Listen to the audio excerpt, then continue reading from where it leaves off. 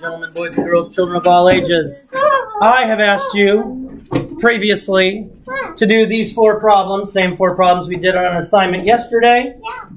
I want to go over them quickly, record it, and put it on the tube of you. You should have done these problems, so if you have done these problems, you're in your seat and watching me as we go over them. Thank you, sir. Um, we started with two digit by one digit numbers. Probably tomorrow we're going to multiply with two digit factors. So two digit times two digit, which is as much as you were uh, required to know in fourth grade. So we're still doing review on the multiplication, but we're going to get to three digit by two digit. Stop crying, Adam. I promise we'll get there. You just have to be patient. Yeah. All right, I understand. So we have 23 multiplied by 5. As I said, when we're doing multiplication, all you have to know is your 0 through 9s, or actually 1 through 9s. That's it. If you know your 1 through 9s, it doesn't matter how big the factors are. If you don't know your 1 through 9s, you've got the multiplication chart, and we're working through the Steve Wyborney course, and he's going to teach us the 1 through 9s. That's what I'm talking about. All right, so we have 23 times 5. Uh, Michael K., what is 5 times 3? It is 15. So I have 15 ones. Or 5 ones and 1 10 still equals 15 ones. Same value. Michael K., what is 5 times 2? It is 10. 10. So I have 10 tens. Plus the other 10 here means I have 11 tens. Which makes my product, product is the answer to a multiplication problem, my product 115. Boom! 43 multiplied by 8. Um, who remembers what these numbers are called? Factors. Factors, thank you. These numbers are factors. And the answer is called a product. Good, you guys are listening. I'm so proud. Yeah. All right, so we go with, and again, use your multiplication chart, use your fingers, whatever you need, because those are all tools. 8 times 3 is 44. 24. So I have 24 ones, or two tens and four ones.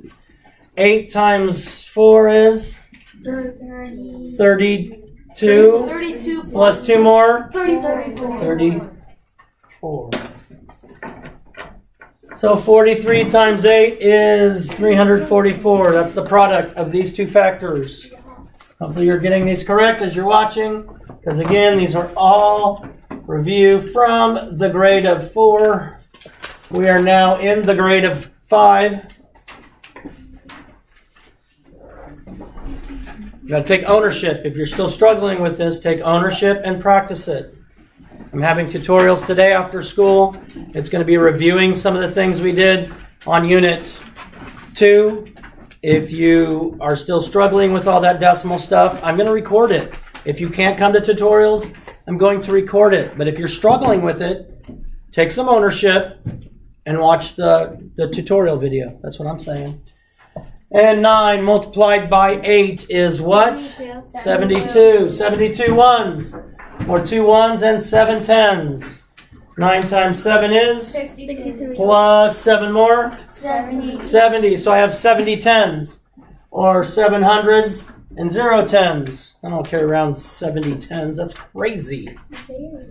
Crazy. Crazy for feeling about you. 82 times 6.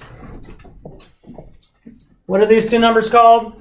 Factors. What's the answer to a multiplication problem called? Product. All right, six ones times two ones is? 12. 12. Or two ones and one ten. Six times eight is? 48. Plus one more? 49. 49. I don't want to carry 49 $10 bills around. So I'm going to change it in for 400s and 9 tens. So we get 492.